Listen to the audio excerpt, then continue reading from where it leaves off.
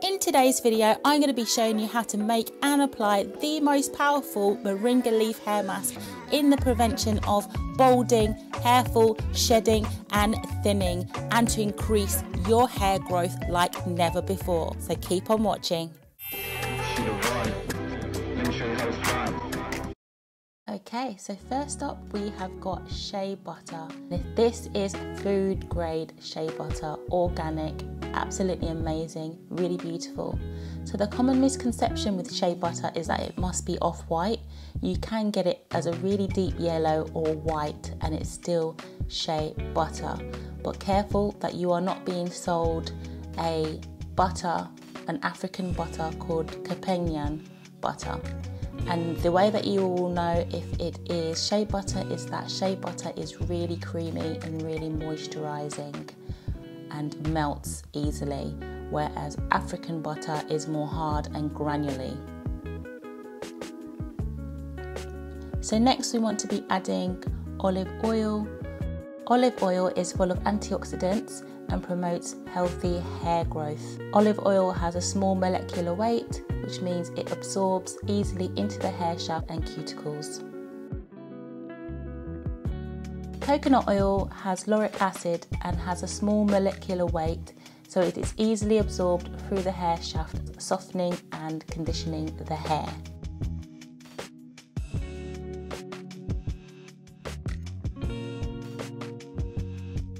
Jamaican black castor oil is full of omega-6 fatty acids, ricinoleic acid.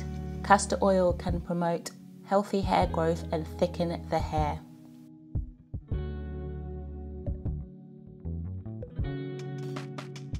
MSM powder and I'm showing you um, the bigger packet that I had which I didn't have at the time of filming.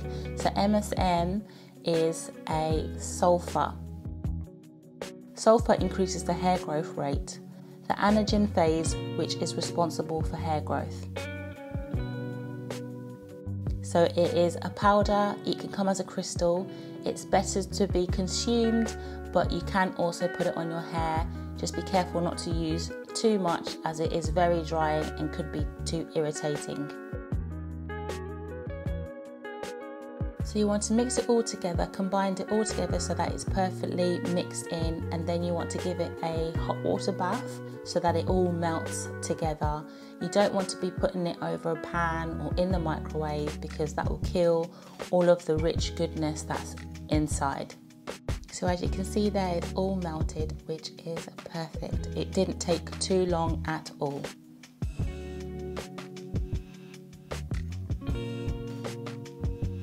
And then you'll want to grab some cling film and wrap it up and put it in the fridge and leave it in the fridge until it just about gets hard. You don't want it to get fully hard, but at the stage just before it starts to harden, and that takes about half an hour or so. So as you can see, I've taken it out of the fridge and it is soft and not too hard and very oily, which is amazing. It's so beautiful.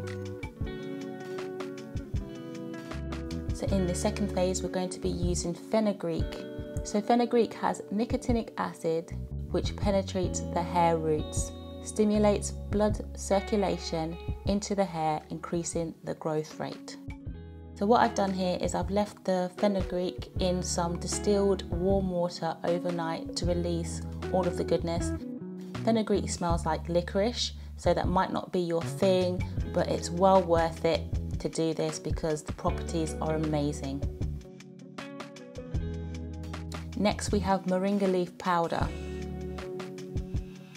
Moringa is a protein, so it strengthens the hair and is best consumed topically, but it doesn't taste the best, but it can be used in smoothies to disguise it, but you can also use it in your hair as well. So you've got the best of both worlds. So what I'm doing here is I'm just mixing the moringa and the fenugreek together so that the powder from the moringa doesn't go flying when I blend this together.